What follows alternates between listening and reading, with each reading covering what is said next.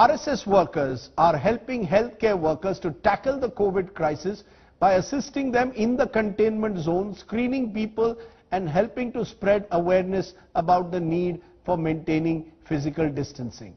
Let's take a look at this report from Pankaj Khedkar. Pune, one of the worst hit cities of Maharashtra, is nearing 5,000 coronavirus cases. The Pune Municipal Corporation has started a door-to-door screening of its residents. I'm an Ayurvedic physician basically. So here is a group of doctors and volunteers. We are going door to door in the red zones.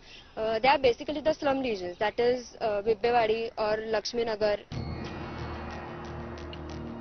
This is Prem Nagar, and doctors are visiting each household.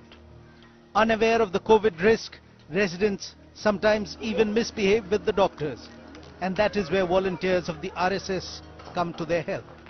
And one day, uh, hum, we call them Mukhya Shikshak. He told me you have to go. There is a uh, chance to offer service to the nation. Will you go? So once the calling has come from RSS, we do have to go.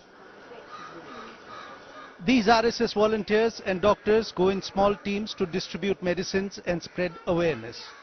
We are go go going in red zone areas and we are distributing uh, uh, this medicines.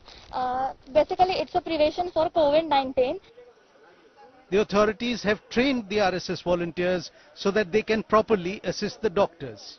We were given a specific training before uh, going into red zones. We were told the precautions which we have to take inside. Primary uh, thing we do here is that that we just know we uh, assist the doctors here. Here you can see a team of doctors and this should and has to be applauded, appreciated that the RSS volunteers on their own have joined this team for the great work of spreading awareness about COVID-19.